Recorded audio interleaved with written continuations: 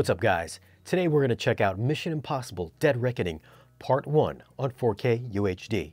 I'm not here to talk about how good or bad the movie is, I'm just going to share some of my thoughts on the video and audio quality. Now let's go over a few tech specs. The movie was shot in 4.5, 4K, and 6K. It's got a 4K DI. It's rated PG-13. Runtime is 163 minutes.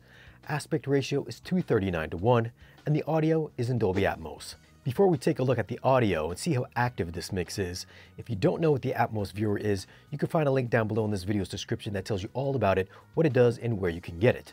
You can also find a list of all the gear that I use for these 4K reviews down there as well. Now let's jump over to the Atmos viewer and see how active this Atmos mix is and check out a few of the best scenes.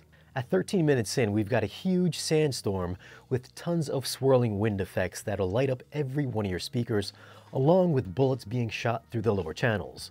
Surprisingly, this whole scene was static without any dynamically moving objects, and this is pretty much how it is for about 99% of the movie.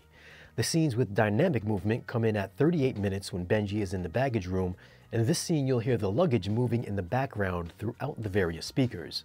At 2 hours 18 minutes in, you'll hear the train as it goes through the tunnel, so you'll get this echoing effect as if you are, you know, in a tunnel. And there's a couple seconds when Tom and Peggy are hanging out in the train where you'll hear some stuff dangling above your head. Other than those few moments, everything remains static. Now it is still a very good sounding mix, so don't let that color your enjoyment. There's a great sounding car chase at an hour in with tons of movement within the lower channels, and even the quieter parts have extension that reaches up top. And there's also a few hefty bass drops that caught me off guard. The sound of the military chopper right after the credits should rumble the ground, and the submarine blowing up felt like it was dipping into the infrasonic realm. Now, other than those two moments, and maybe one or two other times, I felt the bass could have been a lot more aggressive. The action scenes felt like they should have hit a lot harder, and this is with a 6 dB boost on my subwoofer over my calibrated settings. Nowadays, it seems like you gotta really have a separate preset with the LFE channel bumped up and running super hot, which does kinda suck. If you're new to the channel and you're into home theater or want to keep up with the latest in audio and video gear, tap the subscribe button for new weekly videos. And also thanks to all my Patreon and YouTube member subscribers for supporting the channel and making this purchase of Mission Impossible Dead Reckoning possible on the Kaleidescape so I can bring you the home theater movie loving community this 4K review. If you want to join Patreon or the YouTube membership, you can find links down below in this video's description. Video quality wise, this is a very clean, very sharp, detailed transfer.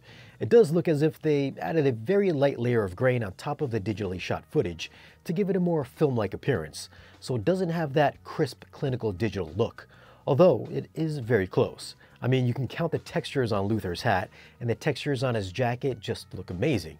That's how much detail is discernible. Tom is also starting to look his age in this one. The CG also looks really good and blends in seamlessly for the most part, and never took me out of the movie. As for the HDR per the Kaleidescape transfer, it's got a max CLL of 1000 and a max FALL of 453. It's not an eye scorcher, but I found the picture to be plenty bright. It's got a very natural color palette without looking overly saturated. There's also some great shots that borrow from the first movie with its angles and depth of field and its use of colors that ties both movies together nicely.